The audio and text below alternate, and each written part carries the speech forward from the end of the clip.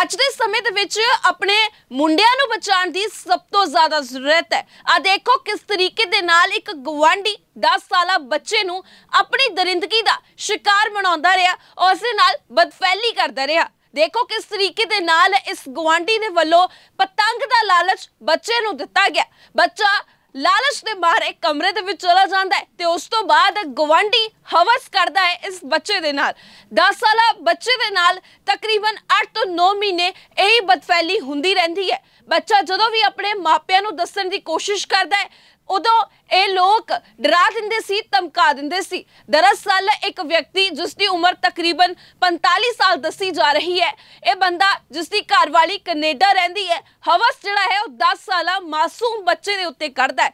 ਬੱਚੇ ਨੂੰ ਡਰਾਉਂਦਾ ਹੈ, ਧਮਕਾਉਂਦਾ ਹੈ ਕਿ ਜੇਕਰ ਤੂੰ ਆਪਣੇ ਪਰਿਵਾਰਿਕ ਮੈਂਬਰਾਂ ਨੂੰ ਇਸ ਦੀ ਜਾਣਕਾਰੀ ਦੇਵੇਗਾ, ਤੈਨੂੰ ਮੈਂ ਕੁੱਤਿਆਂ ਦੇ ਅੱਗੇ ਖਾਣ ਨੂੰ ਸੁੱਟ ਦੇਵਾਂਗਾ। ਤੇ ਉਸ ਤੋਂ ਬਾਅਦ ਬੱਚਾ ਡਰ ਦੇ ਮਾਰੇ ਕੁਝ ਬੋਲਦਾ ਨਹੀਂ। ਜਦੋਂ ਬੱਚੇ ਦੀ ਬੱਸ ਹੋ ਜਾਂਦੀ ਹੈ, ਤੇ ਉਸ ਤੋਂ ਬਾਅਦ ਬੱਚਾ ਡਰ ਦੇ ਮਾਰੇ ਆਪਣੇ ਦਾਦਾ ਦਾਦੀ ਨੂੰ ਦੱਸਦਾ ਹੈ। ਤੇ ਦਾਦਾ ਦਾਦੀ ਨੇ ਖੁਦ ਕੈਮਰੇ ਸਾਹਮਣੇ ਆ ਕੇ ਸਾਰੀ ਜਾਣਕਾਰੀ ਦਿੱਤੀ ਹੈ।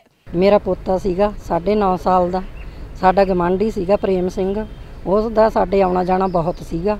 ਉਹਦਾ ਸਾਡੇ ਘਰ ਦੇ ਨਾਲ ਘਰ ਆ। ਤੇ ਉਹ ਮੇਰੇ ਪੋਤੇ ਨੂੰ ਲੋਹੜੀ ਵਾਲੇ ਦਿਨ ਆਪਦੇ ਘਰੇ ਬੁਲਾ ਕੇ ਉਹਨੇ ਡੋਰ ਪਤੰਗ ਦੇ ਬਹਾਨੇ ਬਹੁਤ ਉਹਦੇ ਨਾਲ ਗਲਤ ਕੰਮ ਕੀਤਾ। 7-8 ਮਹੀਨੇ ਹੋ ਗਏ ਸੀ ਇਹ ਕੰਮ ਕਰਦੇ ਨੂੰ। ਹੁਣ ਪੋਤੇ ਮੇਰੇ ਨੇ ਘਰੇ ਆ ਕੇ ਦੱਸਿਆ ਵੀ ਉਹ ਕਹਿੰਦਾ ਜੇ ਤੁਸੀਂ ਤੂੰ ਘਰ ਜਾ ਕੇ ਦੱਸੇਗਾ ਤਾਂ ਮੈਂ ਤੈਨੂੰ ਲੈਣ ਤੇ ਛੱਡ ਆਊਂਗਾ, ਤੈਨੂੰ ਕੁੱਤੇ ਪਾੜ ਦੇਣਗੇ, ਉੱਥੇ ਖਾ ਜਾਣਗੇ। ਸਾਡੀ ਪ੍ਰਸ਼ਾਸਨ ਤੋਂ ਇਹੀ ਮੰਗ ਆ ਵੀ ਇਹਨੂੰ ਵੱਧ ਤੋਂ ਵੱਧ ਸਜ਼ਾ ਹੋਣੀ ਚਾਹੀਦੀ ਆ, ਵੱਧ ਤੋਂ ਵੱਧ ਕਾਰਵਾਈ ਹੋਣੀ ਚਾਹੀਦੀ ਆ, ਵੀ ਅੱਗੇ ਤੋਂ ਇਹ ਕਿਸੇ ਨੂੰ ਹੋਰ ਹੱਥ ਨਾ ਪਾਵੇ, ਹਰ ਇੱਕ ਦਾ ਬੱਚਾ ਬਚ ਜਾਵੇ। ਉਹ ਸਾਡੇ ਕੋਲ ਪਹਿਲਾਂ ਆਉਂਦਾ ਸੀਗਾ ਬਹੁਤ ਦੇਰ ਦਾ, ਵਿਆਹ ਸ਼ਾਦੀ ਨੂੰ ਮੂਰੇ ਰੱਖੀਦਾ ਸੀਗਾ। ਉਹਨਾਂ ਨੇ ਮੇਰੇ ਪੋਤੇ ਨਾਲ ਬ- ਕੰਮ ਗਲਤ ਕਰਿਆ। ਕਿੰਨੀ ਦੇਰ ਤੋਂ ਕੀਤਾ? ਬੱਚੇ ਦੀ ਉਹਨੂੰ ਹੋ ਗਏ ਜੀ ਆਪਣੇ 9.5 ਸਾਲ ਦਾ ਜੀ ਬੱਚਾ। ਕਿੰਨੀ ਦੇਰ ਤੋਂ ਇਹ- ਦੇਰ ਹੋ ਗਈ ਇਹਨੂੰ ਲੋਹੜੀ ਤੇ ਹੋਇਆ ਜੀ ਇਹ ਕੰਮ ਸ਼ੁਰੂ। ਸਾਨੂੰ ਫਿਰ ਲੱਗਿਆ ਪਤਾ ਚੌਥੇ। ਚਾਰ ਦਿਨ ਹੋ ਗਏ ਜੀ ਫਿਰ ਲੱਗਿਆ ਸਾਨੂੰ ਪਤਾ ਫਿਰ ਅਸੀਂ ਉੱਤਾ ਚੱਕਿਆ।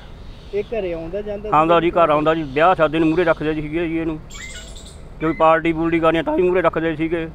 ਇਹ ਸਾਡੇ ਨਾਲ ਬਹੁਤਾ ਮਾੜਾ ਕੰਮ ਕਰਿਆ ਜੀ ਇਹਨੇ। ਬੱਚੇ ਨਾਲ ਗੱਲ ਕੀਤੀ ਫਿਰ ਅਸੀਂ ਲੈ ਕੇ ਆਏ ਫਿਰ ਇੱਥੇ। ਹਾਂ ਪੁਲਿਸ ਨੂੰ ਤਲਾਹ ਦਿੱਤੀ ਜੀ ਫੜਾ ਗਿਆ ਫਿਰ। ਡਰਾਉਂਦਾ ਸੀਗਾ ਜੀ ਵੀ ਤੈਨੂੰ ਲਾਈਨ ਤੇ ਛੱਡੂ ਉੱਥੇ ਕੁੱਤੇ ਸੀਗੇ ਵੀ ਤੈਨੂੰ ਕੁੱਤੇ ਖਾਣਗੇ ਵੀ ਤੈਨੂੰ ਮਾਰ ਦੇਣਗੇ ਉੱਥੇ। ਫਿਰ ਦੱਸਿਆ ਇਹਨੇ। ਕੀ ਮੰਗ ਕਰ ਕੋ ਪਤੰਗ ਪਤੰਗਾਂ ਦੇ ਬਹਾਨੇ ਲੈ ਕੇ ਜਾਂਦਾ ਸੀਗਾ ਉੱਪਰ ਆਪਣੇ ਘਰ। ਜਿਹੜੀ ਇਹਦੀ ਘਰ ਵਾਲੀ ਸੀਗੀ ਪ੍ਰੇਮ ਸਿੰਘ ਦੇ ਇਹ ਬਾਹਰ ਗਈ ਸੀ ਕੈਨੇਡਾ 'ਚ। ਇਹ ਇਕੱਲਾ ਹੀ ਸੀਗਾ ਜੀ ਘਰ। ਕਿੰਨੀ ਇਹਨੂੰ ਇਹੋ ਜੀ ਸਜ਼ਾ ਹੋਣੀ ਚਾਹੀਦੀ ਹੈ ਜੀ। ਕਿਸੇ ਦੇ ਬੱਚਾ ਹੋਰ ਨਾ ਕਿਸੇ ਨੂੰ ਹੱਥ ਪਾਵੇ ਇਹ। ਤੇ ਗਾਹਾਂ ਨੂੰ ਸਮਝ ਆਵੇ ਇਹਨੂੰ ਮੜੀ ਮੋਟੀ।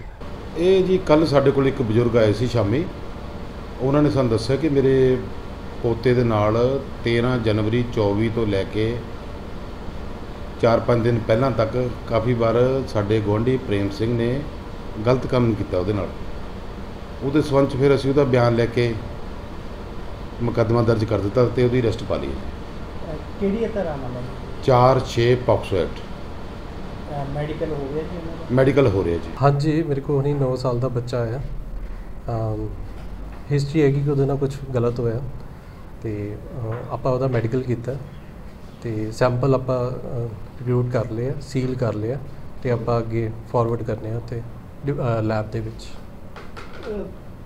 ਕੁਝ ਮੂਵੀ ਜਾਣਕਾਰੀ ਤੋਂ ਪਤਾ ਲੱਗਿਆ ਵੀ ਗਲਤ ਹੁੰਦਾ ਰਿਹਾ ਬੱਚਾ ਕਿੰਨੀ ਕਿ ਦੇਰ ਦੇਖੋ ਜੀ ਉਹਦੀ ਹਿਸਟਰੀ ਲਈ ਸੀ ਬੱਚੇ ਦੀ ਉਹਦੇ ਹਿਸਾਬ ਨਾਲ ਤਾਂ 7-8 ਮਹੀਨੇ ਤੋਂ ਆ ਕੁਝ ਹੋ ਰਿਹਾ। ਮਲਟੀਪਲ ਟਾਈਮਸ ਔਰ ਇੰਜਰੀਜ਼ ਜਿਹੜੀ ਹੈ ਉਹ ਕਹਿ ਰਹੀ ਹੈ ਕਿ ਹੈ।